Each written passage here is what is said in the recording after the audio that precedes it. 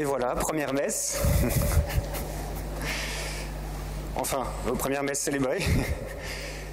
Et, euh, eh ben voilà, c'est un grand merci que je voudrais adresser. Et vous savez aussi l'ordination à valeur d'enfantement, à la valeur de naissance. Et ça tombe bien aujourd'hui en fait la naissance de Saint Jean-Baptiste. Et cette naissance, bah, voilà, je voudrais en profiter pour, pour remercier tous ceux qui m'ont fait avancer sur ce chemin-là, euh, parce que aussi il y a cette figure de Jean-Baptiste qui me marque à travers l'Église qui m'a porté. Saint Jean-Baptiste est celui qui pointe Jésus, qui pointe la parole, la parole qui est semée dans chacun de nos cœurs pour qu'elle germe, qu'elle fasse porter du fruit. Et cette parole, elle est passée par des personnes, elle est passée par des gens qui m'ont aidé, qui m'ont fait avancer, qui m'ont encouragé. Donc j'ai croisé plusieurs Jean-Baptiste dans, mon parcours, dans ma vie, qui m'ont fait, avancer pour, pouvoir euh, choisir, dire oui à cet appel qui, est venu d'une parole, d'un prêtre à un moment donné dans ma vie, et puis après qui s'est confirmé, euh, qui, a, germé en moi un désir, qui a grandi.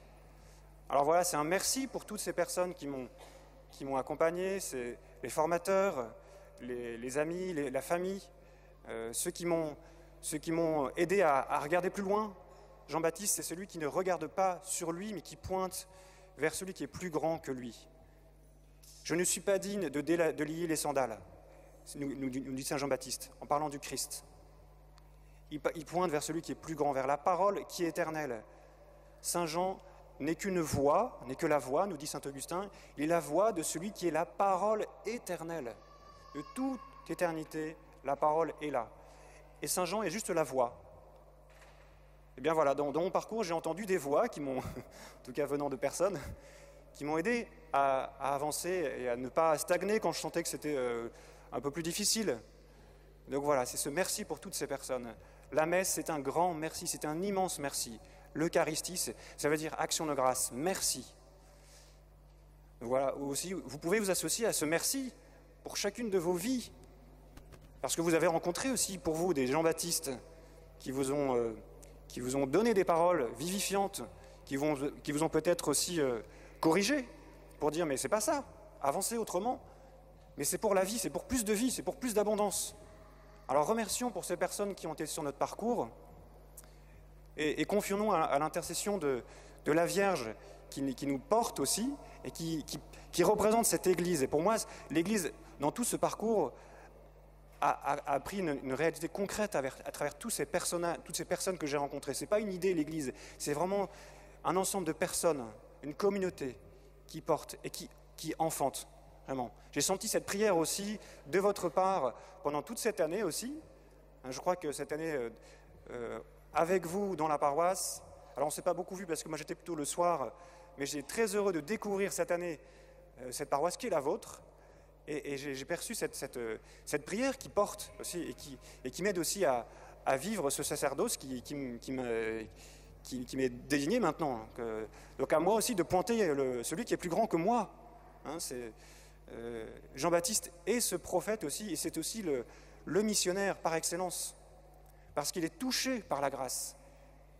Et, et il désigne la parole de vie. Il dit, mais croyez lui, croyez, pas moi, mais lui. Il n'est pas la lumière, mais il est venu pour désigner la lumière. Et c'est par Jean-Baptiste que tous croient, nous dit Saint Jean dans l'Évangile. C'est fou, hein, Jean-Baptiste est ce, modèle du missionnaire qui, annonce, qui, fait que porter cette parole, qui le porte-voix pour plus grand, pour quelque chose qui va le dépasser. Alors remercions le Seigneur pour, toutes ces paroles reçues et demandons-lui cette grâce d'être enfanté par la, par l'Église pour être missionnaire aussi. Et pour finir, ben nous, proposons d'écouter un témoignage encore d'une jeune qui s'appelle Keva, qui est partie euh, un an à Manille, à l'école d'évangélisation. Donc elle a, vécu cette expérience de mission qui, peut concerner tout le monde. Donc écoutons ce, témoignage recevoir ce que le Seigneur veut vous dire à travers elle.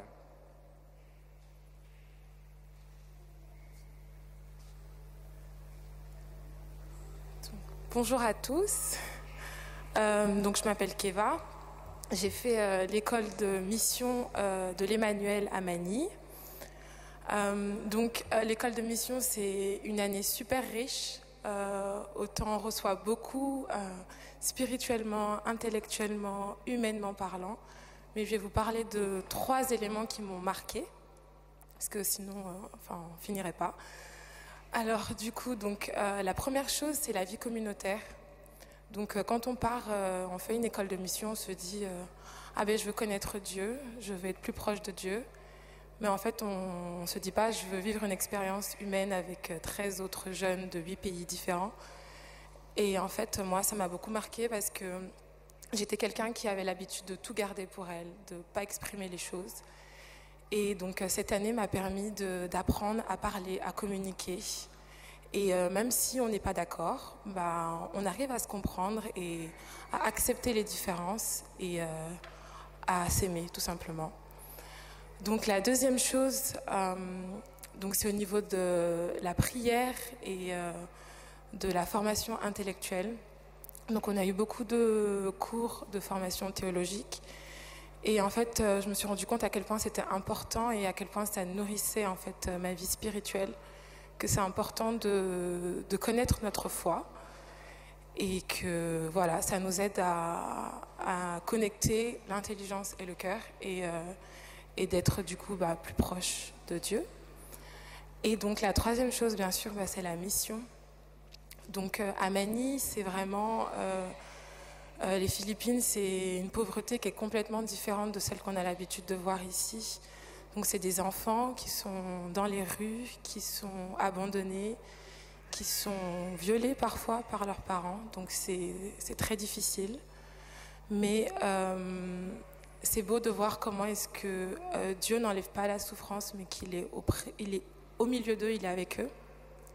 Donc une des missions, par exemple, c'était avec euh, TNK, avec le père Mathieu Daucher, pour ceux qui connaissent. Et donc on allait dans les bidonvilles pour avoir un temps avec les enfants et donc euh, un temps d'adoration. Mais ce qui était marquant, c'est que c'était au milieu des poubelles et parfois euh, il y avait même des, des, chiens qui faisaient leurs besoins à côté. Donc on était au milieu de, cet environnement un peu insalubre et euh, avec le Saint-Sacrement exposé. Donc je me suis dit, ben voilà, le Seigneur, il est vraiment présent euh, au milieu de, cette situation qui semble désespérée. Et surtout qu'en fait, que ces enfants, euh, malgré leur situation, c'est, un peu eux qui nous évangélisent, quoi, parce qu'ils ont une joie euh, incroyable. Et donc aujourd'hui, moi, je me suis rendu compte qu'en revenant ici, Dieu m'appelle, nous appelle à aimer simplement dans les petites choses, qu'il n'y avait pas besoin d'être, de faire des choses extraordinaires, mais qui nous attendait euh, dans les petites choses du quotidien, être présent pour ceux qu'on aime, euh, dire bonjour à un pauvre dans la rue. Euh, voilà, donc voilà, merci, gloire à Dieu.